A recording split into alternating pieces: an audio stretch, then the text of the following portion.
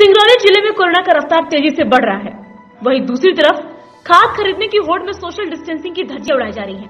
सैकड़ों किसान सिंगरौली ज़िले के महाजन मोड़ सरकारी गोदाम में खाद लेने के लिए एक दूसरे से धक्का मुक्की करते हुए नज़र आ रहे हैं। चारों तरफ़ प्रशासन सोशल डिस्टेंसिंग का पालन करने और मास्क पहनने का ढोला बजा रहा है। महाजन मोड़ आरोप खाद खरीदने वाले लोगों की भीड़ में ये दोनों नदारत दिखाई दे रहे हैं, जबकि ज़िले में कोरोना के तीन से अधिक मामले सामने आ चुके हैं। वहीं सात लोगों की अब तक जान जा चुकी है। फिर भी इस भीड़ को कम कराने और सोशल डिस्टेंसिंग का पालन कराने के लिए कोई भी अधिकारी आगे नहीं आ रहे। किसान बताते हैं कि हम लोगों के खेतों में खाद की आवश्यकता है, लेकिन इस मार्जन चौक सरकारी गोदाम पर इतना ज़्यादा भीड़ है कि यहाँ कोरोना से कैसे बचा जाए? सोशल डिस्टेंसिंग का पालन भी नहीं हो रहा। सुबह से लाइन में खड़े हैं। उसके बावजूद खाद मिलेगा या नहीं, ये अभी तक कहा नहीं जा सकता। संवाददाता Upendra Dubey V S News Singrauli, Madhya Pradesh.